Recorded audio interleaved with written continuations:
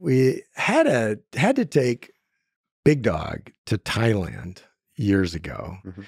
and uh, we did this great video of the robot walking in the sand, walking into the ocean Mhm. up to I don't know its belly or something like that, and then turning around and walking out, all while playing some cool beach music. Yeah.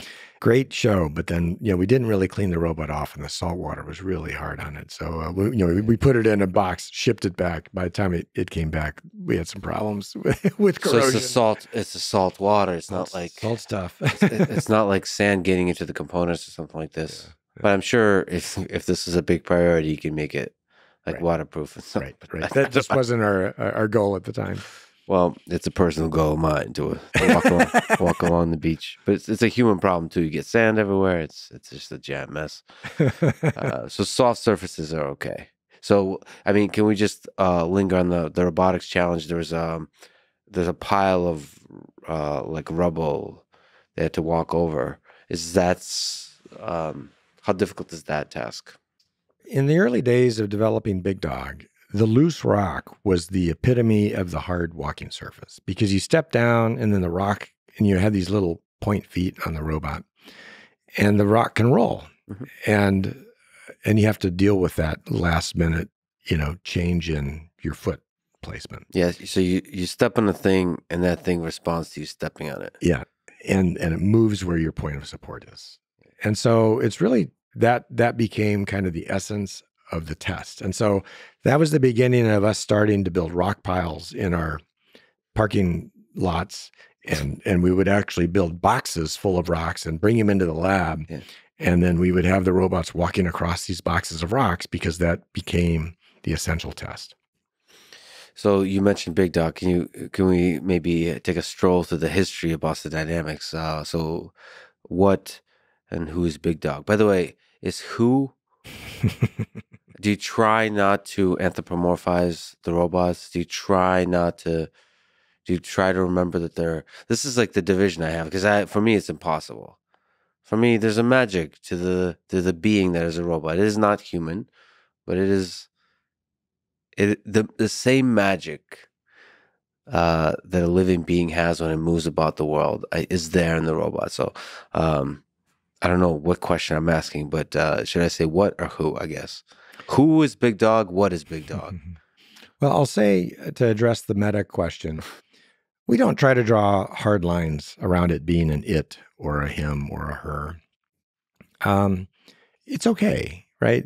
People, I think part of the magic of these kinds of machines is by nature of their organic movement of the of their dynamics.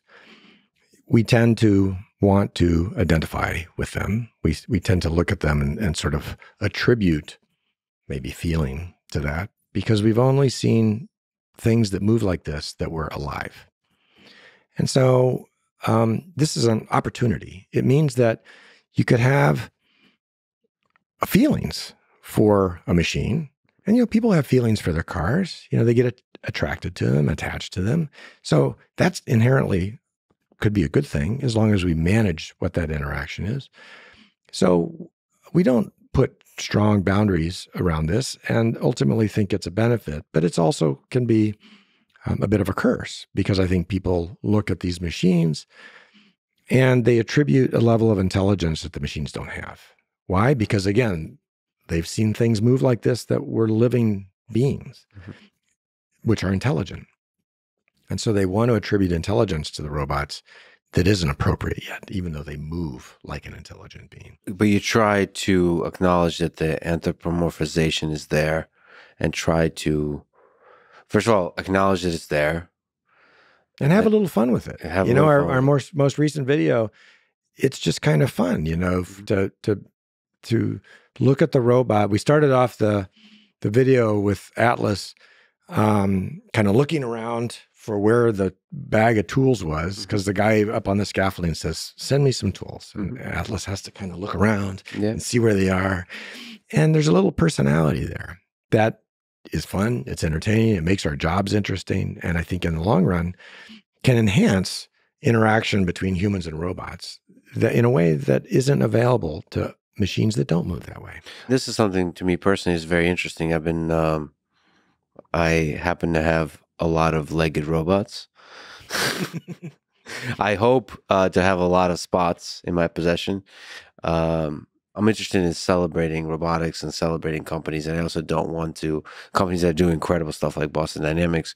And I, there's um, you know, I'm a little crazy, and you so you don't want to, you you want to align, you want to help the company because I ultimately want uh, a company like Boston Dynamics to succeed, and part of that we'll talk about. You know, success kind of requires making money, and so uh, the kind of stuff I'm particularly interested in may not be the thing that makes money in the short term. I can make an argument that it will in the long term, but the kind of stuff I've been playing with is a robust way of uh, having the quadrupeds, the, the robot dogs, communicate emotion with their body movement. Hmm. The same kind of stuff you do with a, with a dog, Yeah. but not not hard coded, uh, but in a robust way, Mhm. and be able to c- communicate excitement or fear, Mhm. uh, boredom, all this kinds of stuff. Uh, and I think as a base layer of function of behavior to add on top of a robot, I think that's a really powerful way uh, to make the robot more usable for humans for whatever application. I think it's going to be really important, and um, it's a thing we're we're beginning to pay attention to. Um, we really want to start a differentiator for the company has always been we really want the robot to work. We want it to be useful. Uh, making it work at first meant the the legged locomotion really works. It can really get around and it doesn't fall down.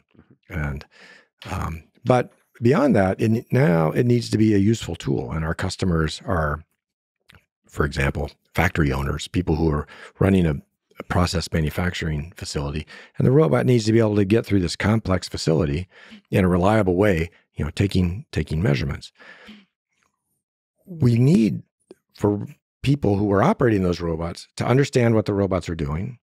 If the robot gets into needs help or or you know is in trouble or something, it needs to be able to communicate, and a physical indication of some sort. Uh, to so that a person looks at the robot and goes, "Oh, I know what that's that robot's doing. The robot's going to go take measurements of my uh, vacuum pump with its thermal camera." You know, you want to be able to indicate that, and or even just uh, the robot's um, about to turn, you know, in front of you, and maybe indicate that it's going to turn, and so you sort of see and can anticipate its motion. So these this kind of communication is going to become more and more important. It wasn't sort of our starting point, um, you, you know, but now the the robots are really out in the world, and you know we have about a thousand of them out with with customers right now. This layer of physical indication, I think, is going to become more and more important. We'll talk about where it goes because there's a lot of interesting possibilities. But if you can return back to the origins of Boston Dynamics with so the, the more research, the R and D side, before we talk about how to build robots at scale. So Big Dog, What- So um, who's Big Dog? So the company started in 1992, and in um, probably uh, uh, 2003, I believe, is when we uh, took a contract from DARPA. So basically 10 years, 11 years. Um, we weren't doing robotics. We did a little bit of robotics with Sony. Uh, they had uh, AIBO, they had the, their AIBO robot. We were developing some software for that. That kind of got us a little bit involved with robotics again. Then there's this opportunity to do a DARPA contract where they wanted to build a, a robot dog. Mhm. And uh, we we won a contract to to build that, and so that was the genesis of Big Dog. And uh, it was a quadruped and it was the first time we built a robot that had everything on board that you could actually take the robot out into the wild and operate it. So it had onboard power plant it had onboard computers it had uh, hydraulic actuators that needed to be cooled. So we had cooling systems built in. Everything integrated into the robot. And uh, that was a pretty rough start right it was it was 10 years that we were not a robotics company we were a simulation company and then we had to build a robot in about a year. So that was a, a little bit of a rough transition.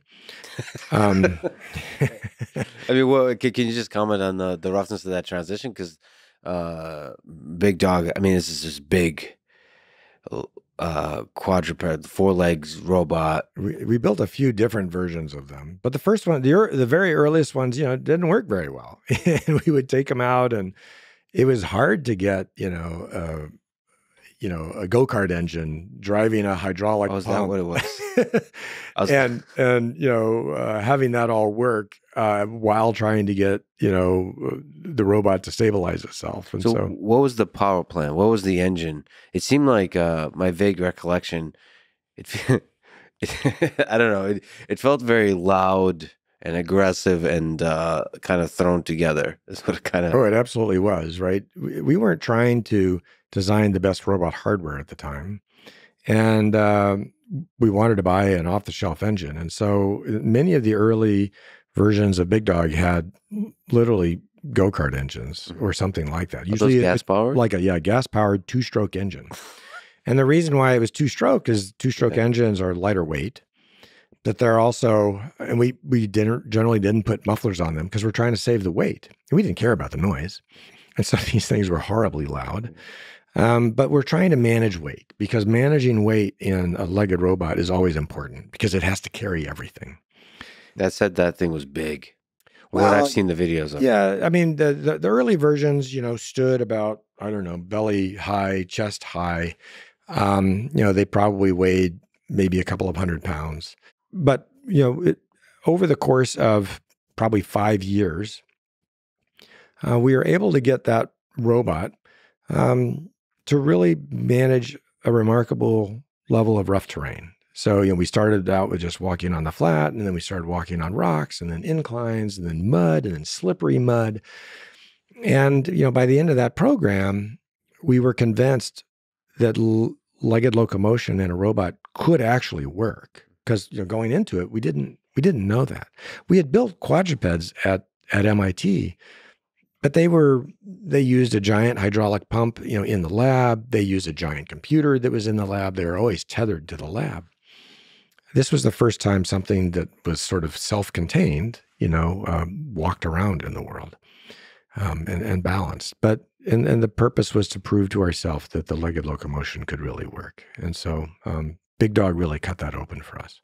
And, and it was the beginning of what became a whole series of robots. So once once we showed to DARPA that you could make a legged robot that could work, there was a period at DARPA where robotics got really hot, and there was lots of different programs. And um, you know, we were able to build other robots. We built other quadrupeds to hand, like LS3, designed to carry heavy loads. We built Cheetah, which was designed to explore what are the limits to how fast you can run. You know, we we began to build sort of a portfolio of machines and software that let us build not just one robot but a whole family of robots. To push the limits in all kinds of directions. And Yeah, and to discover those principles. You know, you asked earlier about the art and science of legged locomotion. We it, were able to develop principles of legged locomotion so that we knew how to build a small legged robot or a big one. So the leg leg length, you know, was now a parameter that we could play with. Payload was a parameter we could play with. So we built the LS3, which was an 800 pound robot designed to carry a 400 pound payload. And we, we learned the design rules, basically developed the design rules. How do you scale different robot systems to, you know, their terrain, to their walking speed, to their payload?